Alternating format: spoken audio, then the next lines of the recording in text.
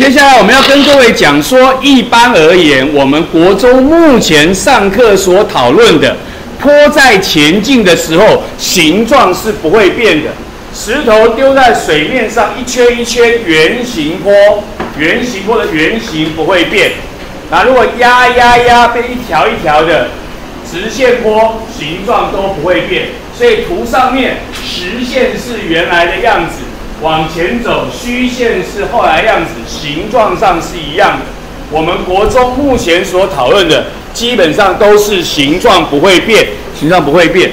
那么因为形状不会变，然后再配合一些其他，就出现一种问题。什么问题呢？就是请问你，请问你，这个介质的运动方向向哪里？那我们有两种解决方法，这里讲的是其中一种，哪一种呢？就是照描，实线是现在的坡。他问你，我向右边运动。请问你 A 点怎么动？B 点怎么动？C 点怎么动？我怎么解决？方法有二。方法一，照描。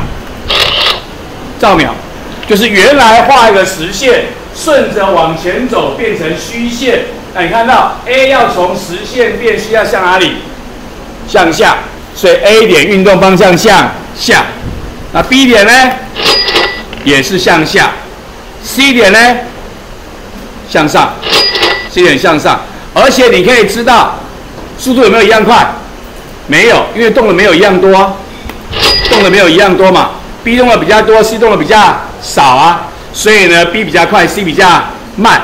这是我们的第一种方法，照描形状不变，照描往前走一点，看怎么样。我们的解决还有第二种方法，叫做看后面。什么叫做看后面呢？这个是我的坡，我现在往前走，所以左边是后面，所以 A 点左边是后面在下方，所以 A 点运动方向向哪里？向下。C 点我的左边后面也是在下方，所以 B 的运动方向也向哪里？向下。C 点我的后面是在上面，所以 C 点运动方向哪里？向上，看后面，看后面。所以第二种方法呢，就是看后面，看你喜欢哪一种，你就用哪一种。就是问你这个坡的瞬间的运动方向向哪里？OK。所以练习一，这里有个坡向左边走，他帮你画好了。粗粗的实线是现在，细细的虚线是等一下，他帮你画好了，多好啊！然后啊，请问你，P 跟 Q 的瞬时运动方向是朝哪一边的？是向上呢，还是向下呢？是向上呢，还是向下呢？啊，停车暂借问，啊，向上或者是向下？帅哥美女，我们找一位，这位叫做不是十四号是自由生吗？不是，十四号。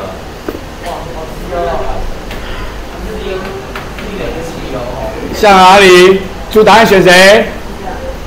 你答案选出，请坐下。啊，答案选的是叫做猪儿。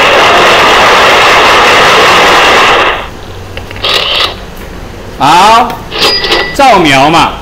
如果他被描好了，不是吗？所以要从粗粗的实线变成细细的虚线，P 要往哪边走？往下走啊。Q 往哪边走？往上走啊。所以 P 点向哪里？P 点向下，Q 点向上。啊，刚才跟你讲可以看后面，对不对？这里是前面啊，所以后面是哪边？右边是后面嘛，就看你的后面。P 的后面在下面，所以 P 向哪里？向下。Q 的后面在上面，所以 Q 向哪里？向上。你也知道，P 向下，Q 向上。所以呢，我们就选择的是猪。Q 点的向上方运动，这就是我们的练习零一。这里要教你的重点就是考试也会考，就画一个坡，问你介质的瞬时运动方向朝哪里？方法一照秒，方法二看后面，这就是我们的解决方法。OK。